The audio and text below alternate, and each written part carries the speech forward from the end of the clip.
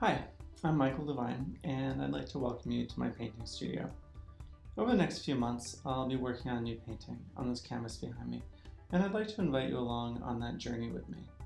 Um, over the past, you know, 20 years of my painting career, I've been asked some pretty similar questions over and over.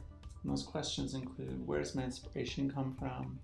Uh, what is my process? You know, what it's my creative process, what goes into making a painting. And really, I think one of the, the most important is where do I even begin? Uh, which thread do I pick up first? So I'd like to use this time to answer some of those questions and let you in on some of that process. The first seeds of this idea were planted while I was in New Zealand in January of 2016 and I was talking with a friend there about the sort of symbiotic relationship of everything that surrounds us. You know, how it all just flows in and out of each other, one thing becoming the next, and so on, and how to express a bit of the richness of that dance. At the time, I was working on this altarpiece for a little chapel there. I was working in this beautiful studio that looked out on gardens and rolling fields and forested hills, and, and I think in that kind of space, those wide open blue skies and the blossoming thick of New Zealand summer, I could really taste the synergy between all of the plants and the birds and the bugs and the crazy loud cicadas, everything just all dancing together. So I thought about that and what it would look like if it were a painting. That emotion and movement, that idea of this flowing organic orchestra of life all interwoven in this enveloping sort of way that at the same time is quite precise.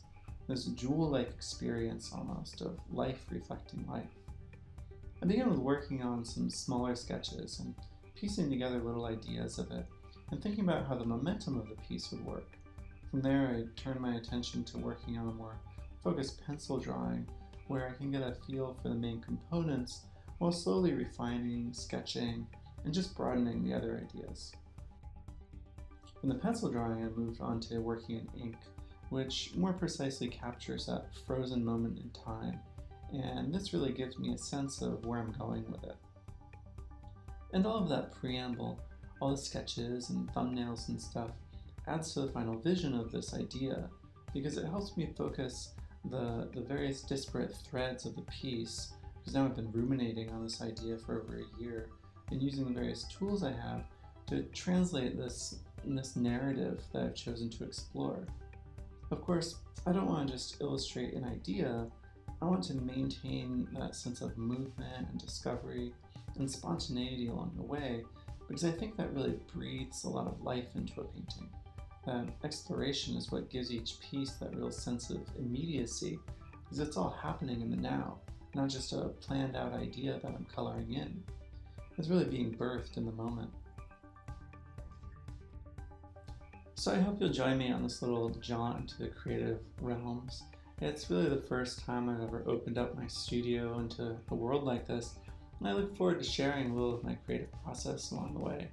Uh, I'll be posting live videos on Facebook and YouTube and elsewhere, and I really look forward to sharing this experience with you. Thanks so much for joining me.